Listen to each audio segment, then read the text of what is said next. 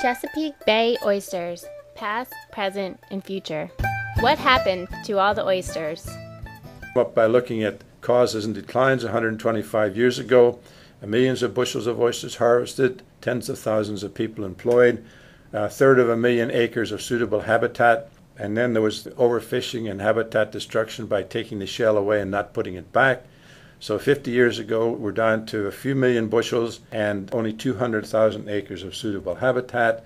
That continued, and disease entered into the equation so that now we believe there's only about uh, a tenth of 100,000 bushels being harvested yearly compared with millions a few years ago. Fewer number of watermen and processing companies, and the habitat has been so disturbed and covered over with silt that the acreage uh, is very much less. So the losses for society, there are fewer watermen uh, because there's fewer oysters. Their processing plants are shutting down. Restaurants have to buy oysters from other parts of the country. And you no longer see these dredging sailboats out there working the way they used to. So the cultural heritage is lost. I'm Ben Parks. I was born, raised on Hooper's Island, worked the bulk of my entire commercial fishery in the lower part of Chesapeake Bay and its tributaries. There's more dredge boats on the bay that that my grandfather owned than what's on the whole entire bay now. It's a dr- dramatic decline. I would like to see it, it, it get back to where the, the younger guys, and I was kind of hoping that, you know, maybe with all the restoration work that's being done, that they'll be able to follow in the footsteps of their fathers and grandparents and great grandparents, like I've been able to do.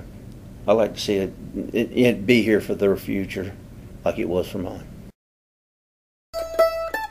Why do we need oysters?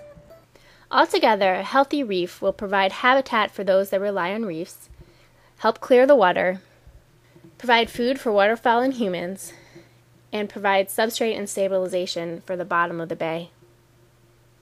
To summarize the ecosystem consequences of losing reefs, as you remove oysters due to fishing and disease, you begin to remove the other organisms that live among the reefs.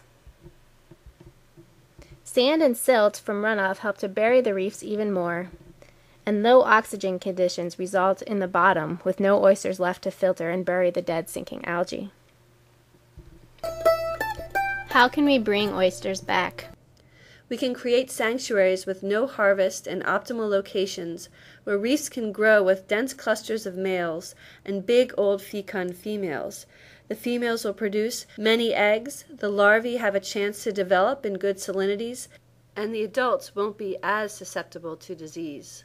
These areas would be excellent for restoring oyster populations in Chesapeake Bay, and in fact, oyster sanctuaries are currently being located in these optimal areas. In Maryland, many different groups are involved in oyster restoration. These range from state and government agencies, academic institutions, nonprofit organizations, interest groups, and local communities.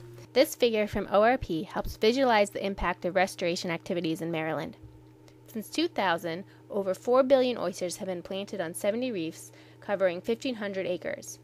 2012 has been a record year with 880 million baby oysters planted, with the majority going to restore Harris Creek. Other programs, such as the Oyster Gardens, have provided an additional 2 million oysters for restoration. Hopefully, with proper legislation, continuing partnerships, and the necessary support, these programs can continue to produce reefs, stimulate the economies, and set a good example for oyster restoration programs in other states. There are still many other options to help aid oyster restoration.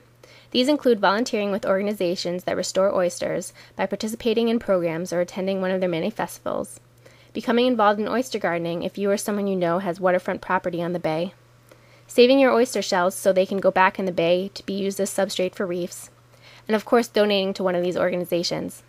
The future of oysters and the future of the bay rests in these programs as they work alongside science. Hopefully, we can continue to improve the bay for ourselves and for future generations.